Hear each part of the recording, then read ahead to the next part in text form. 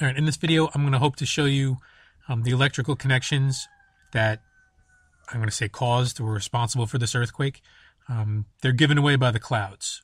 I think that they're always there invisible, and if there happens to be either particulates or actual clouds in the way, they'll you, will see they, they, give it away. Um, but here it is. This was the 8.3, um, about 2,300 hours, and the station is La Paz, Bolivia.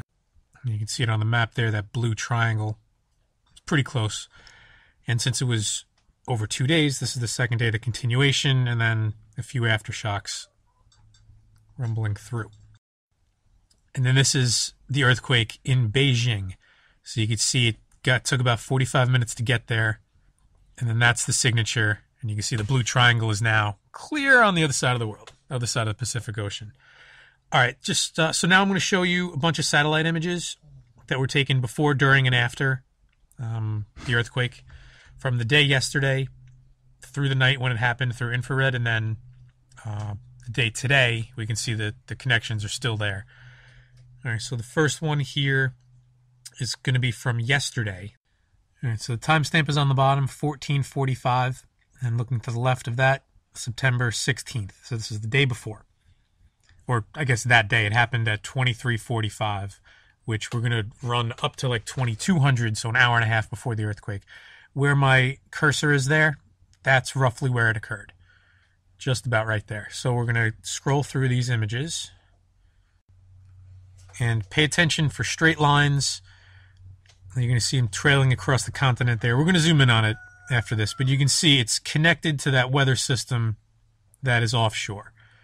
You can see that the lines are trailing back over the continent, connecting that area. So you can see here, different satellite. This is infrared, and this is 17, 20, 2345 right there. Was 10 minutes roughly around when the earthquake happened. So let's roll through again. And this actually, sorry, before we do that, this is the connection visible satellite down into Antarctica.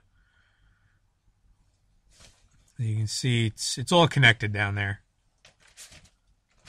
So even though this is an earthquake in central Chile, this is where it's originating from. So here we go. The red blob in the Andes right around the earthquake, watch that.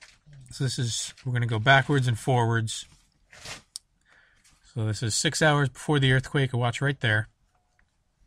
Three hours before, then right before, and then right after. You can see it builds up to it, and then the clouds just disappear. The pressure is released when that earthquake happens.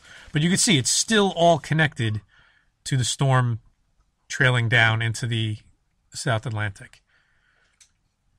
And let's zoom in again, very close to it, as close as I could get anyway.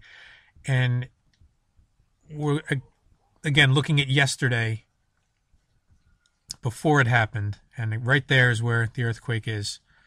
So we're looking at the top left-hand portion of the screen here. And as we run it through, look back directly east. You're going to see these the clouds are connected there. There's two two batches of clouds that are connected. Um, try to highlight it with the cursor there. One bank of clouds goes that way, and then the other bank of clouds is at a diagonal, still connecting to the same exact point where the earthquake happened. So let's run it through. You can see they're all connected right there different angle, different. uh, it's actually to the. It's just off screen to the south. It's not pictured, but you can see uh, this where I'm highlighting the connection with my cursor. It's going through there, and then this was today, 917. So uh, look to the bot. Look to the bottom right. You may see some lines there. Let's zoom in on that and roll this through. So this was today after the earthquake but I still think these are the same exact lines, the teleconnections connecting the storm to the east. You know, these clouds are the trailing clouds of that storm, connecting it over that mountain, over those mountains to the earthquake. And you can see the lines don't move. The clouds move through the lines, but the lines are stationary. So this is today after it happened, and it's I still think it's connected. There's still aftershocks going on there. The clouds are still overhead here. You know, the wind is blowing. It rained last night. The lightning the, the last two nights, just for the nights, has been ridiculous. A lot of lightning, not a lot of thunder. It's cloud to cloud lightning, but it's it's like one every two or three seconds. I mean, the sky just is flashing like a strobe light for the last two nights. And then during the day, nothing. Just cloudy, unsettled. And then nighttime, highly electrically connected over my head right now.